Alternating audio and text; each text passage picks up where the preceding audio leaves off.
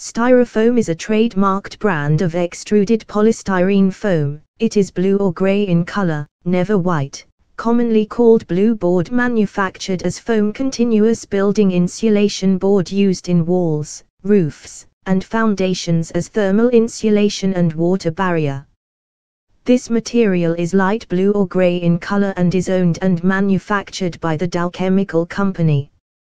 In the United States and Canada, the colloquial use of the word styrofoam is used to refer to another material that is white in color and made of expanded polystyrene foam also called EPS foam.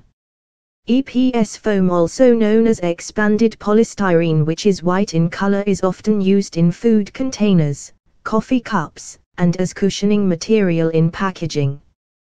The word styrofoam is a trademarked name for an extruded polystyrene which is always blue or gray in color. It is used in the USA generically to identify a different material that is actually white in color and is an expanded polystyrene. Not an extruded blue polystyrene. Styrofoam which is blue or gray in color weighs approximately 50 kilograms per cubic meter and is at least 90% air. Polystyrene which is white in color weighs approximately 20 kg per cubic meter depending on its density grade and is 98% made of air.